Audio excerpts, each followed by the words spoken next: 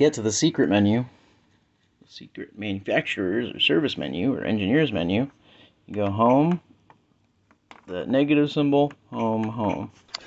And now you'll be on the page with all the different menus. We got manufacturers menu, underwear menu, service menu, and then you've got like a extended self-test, which we're gonna run first.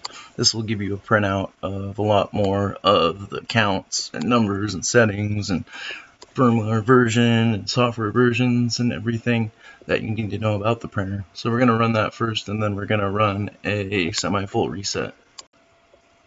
Alright, and here is that printer self, or extended self-test page, I mean. Now this extended self-test page is basically like a self-test report crossed with a quality test, or quality report. Uh, it's got all the information from both, plus a little bit extra on there, and it also includes the page count and the really important things that you need to know about a used printer.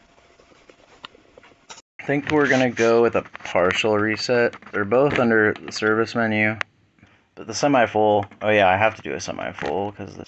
So we're just gonna press OK, and we'll kind of wait here for a minute and reboot itself in a second. There it goes. And bam, it is reset. And as you can see, it reboots itself and it'll just reboot to the default screen that you get to when you first set up your printer, which will let you choose a language. But let's show you how to do that again from a different angle. All it is is home minus home home. ET phone home. So we're gonna go E T phone home. Boom. Engineering menu. Then you just use that secret menu to do a semi-full reset on the printer to set it back to its factory settings.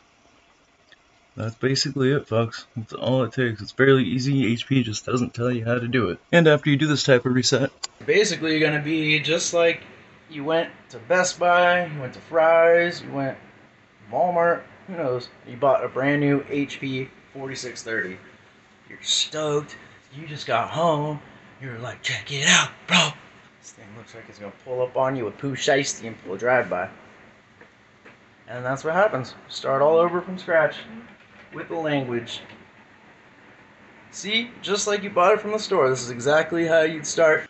Thanks for watching. If you learned anything from this video, hit that subscribe button, mash that like button, or the other way around. Spin it all up into something nice and stick it straight up your candy.